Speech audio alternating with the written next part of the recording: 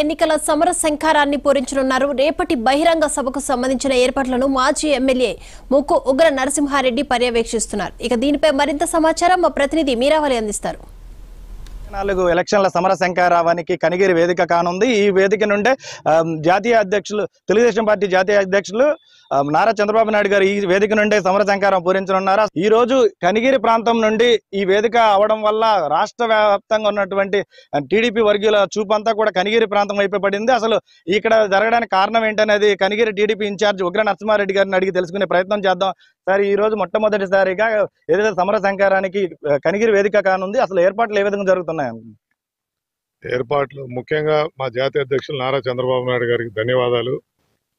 ఎన్నికల శంకారావం ఇక్కడి నుంచే మొదలు పెట్టడం వెనకబడ్డ ప్రాంతం నుంచి మా ప్రాంత ప్రజలందరూ కూడా చాలా ఆనందంగా ఉన్నారు. ఎందుకంటే ఈ ప్రాంతంలో ఉన్న సమస్యలను మొదటిగా వారి దృష్టి ఆ రోజు మేము విన్నవించుకోవాలనుకుంటున్నాం. గతంలో కూడా వారి దృష్టిలో ఉన్నాయి. త్రిబుల్ ఐట్ ఇచ్చున్నారు దాన్ని ఆపేశారు. నిమ్స్ ఇచ్చుంటే దాన్ని ఆపారు. మరి ఏదైతే వెలుగొండ ప్రాజెక్ట్ ఉన్నారో సగం ఉన్నారు ఇంటింటి కొలాయి అని చెప్పి సగం పనులన్నీ ఆపేస్తున్నారు. రైల్వే లైన్ ఉంటే స్టేట్ కాంట్రిబ్యూషన్ కట్టాల్సిన ఆ కాంట్రిబ్యూషన్ కూడా క్యాన్సిల్ చేయడం జరిగింది. ఇవన్నీ ఇవన్నీ సమస్యలు కూడా పూర్తి కావాలంటే తిరిగి చంద్రబాబు నాయుడు ముఖ్యమంత్రి గారు కాబోతున్నారు కాబట్టి ఈ ప్రాంత సమస్యలు నెరవేరుతాయని ప్రజలు ఆశిస్తూ ఉన్నారు. రేపు దాదాపు మా నియోజకవర్గం నుంచి ఒక లక్ష మంది కూడా బయట నుంచి అరవై వేల మంది ఇక్కడి నుంచి వలస వెళ్ళిన వారు దాదాపు ఈయన కర్నూలులో ఉంటారు. రకరకాలుగా బాంబే మహారాష్ట్ర అంటే డిఫరెంట్ డిఫరెంట్ ప్లేస్లో బెంగళూరు చెన్నై ఎక్కడెక్కడి నుంచి కూడా ఈరోజు రావటం జరుగుతూ ఉంది.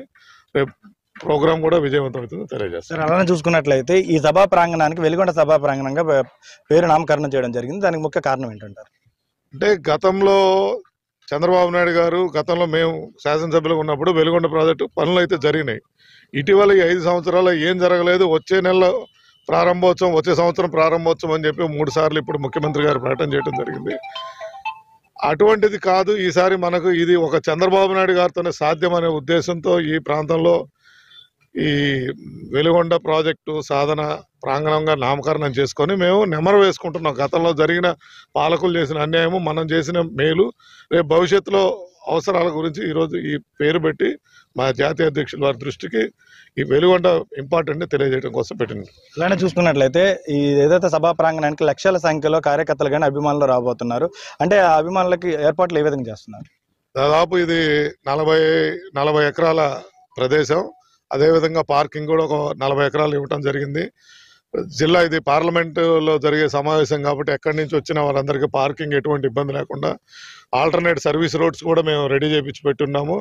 మరి ఇక్కడ ఆల్మోస్ట్ డ్రింకింగ్ వాటర్ కూడా ఒక లక్ష బాటిల్స్ ఆల్రెడీ ప్రొక్యూర్ చేస్తున్నాం ఇంకో లక్ష బాటిల్స్ కూడా వస్తున్నాయి. ప్లస్ భోజనాలు వసతి కానీ హెలిప్యాడ్ కానీ అన్నీ కూడా ఒక premises ఏర్పాటు చేసాం సభ విజయవంతమవుతుందని తెలియజేస్తాం. సార్ అలానే చూసుకున్నట్లయితే సభా ప్రాంగణంకి ఈ రోజు జనసేనతో పొత్తులో భాగంగా ఉన్నారు. మరి జనసేన సంబంధించి ఎవరైనా నేతలు ముఖ్య నేతలు రాబోతున్నారు? అందరూ పార్టీ చూస్తూ ఉంది. ముఖ్యంగా జిల్లా నాయకులు చూస్తున్నాం అందరం కూడా. ముఖ్యంగా తెలుగుదేశంతో పాటు జనసేన అందరం కూడా కలిసే ఈ కార్యక్రమాలు చేస్తాం అన్నమాట ఖచ్చితంగా పవన్ కళ్యాణ్ గారు అట్లానే చంద్రబాబు గారి నాయకత్వంలో రాబోయే రోజుల్లో ఇరవై నాలుగులో రేపు రాబోయే జరిగే ఎలక్షన్స్లో నూట డెబ్బై సీట్లకు నూట అరవై సీట్లతోటి కలిసి పోటీ చేసి కలిసే గెలుస్తామని చెప్పి కూడా తెలియజేస్తా ఉన్నాం. అలానే చూసుకున్నట్లయితే ఈ రోజు జరగబోయే రేపు జరగబోయేటువంటి కార్యక్రమం ద్వారా ఎటువంటి అస్త్రాలు వైసీపీ మీద సంధించబోతున్నారు అసలు కాదు. మేము రాబోయే రోజుల్లో గత ఐదు సంవత్సరాలు ప్రభుత్వం మేము అధికారం ఉన్నప్పుడు ఏ కార్యక్రమాలు మంచి కార్యక్రమాలు చేశామో అలాంటి మంచి కార్యక్రమాలే మళ్ళీ చేస్తాం అనమాట గడిచిన ఐదు సంవత్సరాల నుంచి ఏమైతే అబద్ధాలు చెప్పి అధికారంలోకి వచ్చిందో వైఎస్ఆర్ పార్టీ ఒక్క కార్యక్రమం కూడా నెరవేర్చకుండా అంతా మోసం చేస్తా ముఖ్యంగా మీరు చూస్తున్నారు పెన్షన్స్ని. మనం రెండు వందల నుంచి రెండు వేలు చేసాం వాళ్ళు రెండు వేల నుంచి మూడు వేలు చేయడానికి ఐదు సంవత్సరాలు టైం పట్టింది అనమాట కూడా నలభై ఐదు సంవత్సరాల పెన్షన్ ఇస్తున్నారు ఇవ్వలేదు. అమ్మఒడి ద్వారా ఇద్దరికి చదువుకోవడానికి ఇస్తా ఉన్నారు ఒకరు కూడా ఇవ్వలేదు. ఈ ప్రాంతంలో వెలుగొండ ప్రాజెక్ట్ని పూర్తి చేసి నీళ్ళు ఇస్తామని చెప్పారు. ఇప్పటికి ప్రతిసారి కూడా అసెంబ్లీ జరిగేటప్పుడల్లా వచ్చే రెండు నెలల్లో నీళ్ళు ఇవ్వబోతున్నామని చెప్తున్నారు. అది ఒక్క అడుగు కూడా ముందుకెళ్ళలేదు. అదేవిధంగా గడిచిన ఐదు సంవత్సరాల్లో పోలవరం ప్రాజెక్టు డెబ్బై ఒక్క శాతం పూర్తి చేసి మిగతా మూడు శాతం పూర్తి చేయమంటే రివర్స్ టెండరింగ్ అని చెప్పి అయ్యి పెట్టేసి సర్వనాశనం చేసి వదిలిపెట్టారు. ఎక్కడ కనపడితే అక్కడ ఇసుక దోపిడీ నాశరకమైన మద్యాన్ని తీసుకొచ్చి ప్రజల్లోకి వదిలి కొన్ని వందల మంది ప్రాణాలు కోల్పోవడానికి కారణమయ్యారు. ఏదైనా ప్రభుత్వాన్ని ప్రశ్నిస్తే వాళ్ళ మీద ఎదురు దాడి చేయటం సుధాకర్ లాంటి డాక్టర్లను కూడా సైతం కూడా లెక్క చేయకుండా కిరణ్ లాంటి వాళ్ళని సుధాకర్ లాంటి డాక్టర్లని ఎక్కడ పడితే అక్కడ దాడులు చేయటం ఎస్సీ ఎస్టీ బీసీ మైనార్టీలు అని చెప్పుకుంటూ సప్లాన్ కూడా ఈ రాష్ట్రంలో సప్లాన్కి దూరం చేశారు వాళ్ళు. ఒకటి కాదు రెండు కాదు. ఈ ముఖ్యమంత్రికి పరిపాలనా విధానమే తెలియదు ఆ పరిపాలన విధానం తెలియక గందరగోళం అయిపోయారు. ఇవాళ వాళ్ళు సీటులు ఒక ఎమ్మెల్యేగా పనిచేసిన అతనికి ప్రజల్లో నమ్మకం కలిగించి మళ్ళీ పోటీ చేయాల్సిన వాళ్ళని సీట్లు మార్చడం లేకపోతే సీట్లు కోల్పోవటం చూసాం కానీ సీట్లు తీసుకెళ్ళి ఇక్కడ వాళ్ళని తీసుకెళ్ళి ఇంకో చోట ఇంకో చోట వాళ్ళని తీసుకొచ్చి ఇక్కడ వేసి వాళ్ళు గందరగోళం అయ్యి అందరిని గందరగోళం చేసే పరిస్థితికి ఆ పార్టీ వచ్చింది.